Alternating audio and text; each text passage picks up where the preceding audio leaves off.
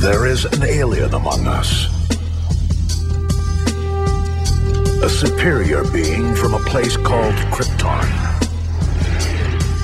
Deep in the heart of the city, he watches for signs of danger.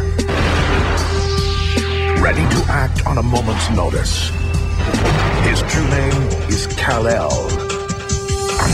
You know him as Superman. Maybe you ladies haven't heard about me. The future of Metropolis is in the hands of the Man of Steel.